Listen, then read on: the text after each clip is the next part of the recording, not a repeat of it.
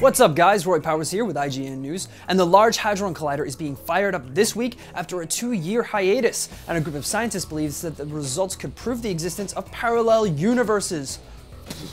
Scientists believe that a second run of the LHC could produce or detect miniature black holes, which they argue could point to entire universes hidden away in higher dimensions folded into our reality.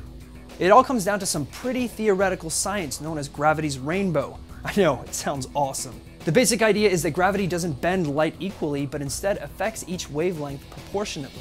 To summarize the paper, this means that earlier attempts to find miniature black holes in the LHC weren't using enough power because the scales had shifted around these objects. Now the LHC will be powered to its highest ever energy levels, about double those of its last run.